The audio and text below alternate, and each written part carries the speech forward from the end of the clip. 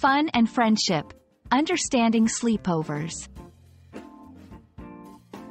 Hello, everyone. Today, we're diving into a fun part of English culture and language sleepovers. Whether you've heard this term in movies or read it in books, it's a phrase that captures a beloved social tradition among friends. Let's unpack what sleepovers are all about and why they're more than just a night away from home. A sleepover is an occasion where someone, often a child or teenager, is invited to spend the night at a friend's house. It's a social event that involves various activities like games, watching movies, or simply chatting the night away. Sleepovers are a rite of passage for many, symbolizing trust and friendship. At sleepovers, the possibilities for fun are endless.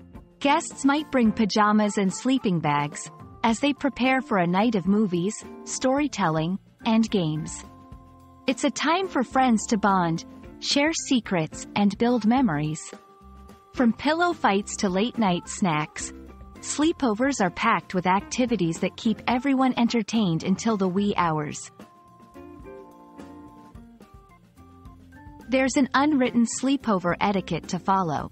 Guests should be respectful of the host's home and rules, and hosts should ensure their guests are comfortable and included in all activities. It's about mutual respect and making sure everyone has a good time. Sleepovers are about more than just fun. They are a platform for social learning. They help young people navigate friendships, learn independence, and develop social skills in a safe environment.